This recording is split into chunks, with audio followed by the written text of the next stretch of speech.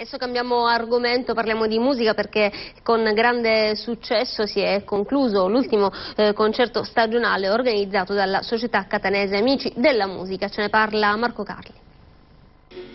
Il melodramma da Bellini ai nuovi assi del presente, una stagione ricchissima, quella presentata dalla società catanese Amici della Musica, che ha celebrato il concerto conclusivo, tutto esaurito per la serata finale che ha riproposto il costante legame fra tradizione e modernità di una terra che da sempre ha dato i natali a maestri del melodramma.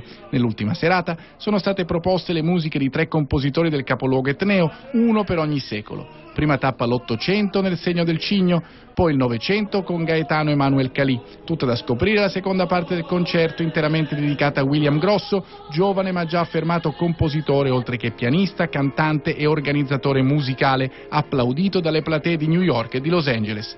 William Grosso si è anche esibito nella veste di pianista con il contributo di un quartetto vocale che ha già collaborato con lui e annovera nomi di spicco come il soprano Carmen Salamone, il mezzo soprano Sonia Fortunato, il tenore Agatino Reitano e il baritono Giovanni Di Mare.